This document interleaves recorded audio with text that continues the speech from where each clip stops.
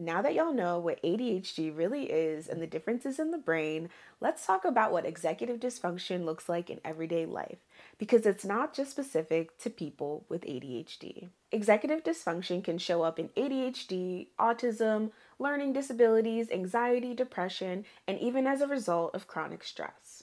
And importantly, executive dysfunction can show up both mentally and physically. Mentally, it can look like struggling to start tasks, losing track of steps, and getting stuck when switching between activities. Physically, it can include motor symptoms like restlessness, fidgeting, impulsive movements, and poor coordination. It can also include sensory differences like being over or undersensitive to touch, noise, or light. In school, it might look like knowing that the homework is due but not being able to start, not because you don't care, but because organizing the steps feels impossible. At work, it can look like missing deadlines or hyper focusing until you burn out.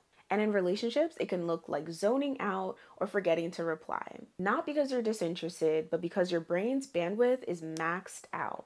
Understanding executive dysfunction can help you build strategies that actually support how your brain works, not how it should. Check out the rest of the Prefrontal Cortex 101 series that goes into executive functions in depth.